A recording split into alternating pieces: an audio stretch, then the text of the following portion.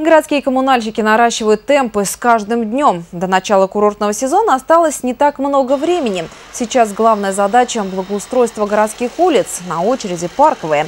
Коммунальные службы курорта сегодня приводили в порядок территорию возле четвертой школы.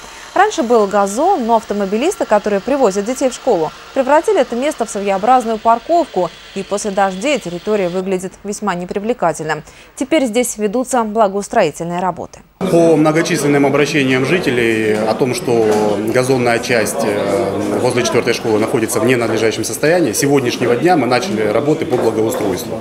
То есть в первую очередь мы э, заменим дорожные бордюры, э, поставим, выставим их на такой уровень для того, чтобы машины не могли там парковаться, ну и, соответственно, портить газон. После этой работы мы займемся устройством самого газона, то есть сделаем надлежащее озеленение, ну и приведем все в хороший вид. Ориентировочные сроки недели две.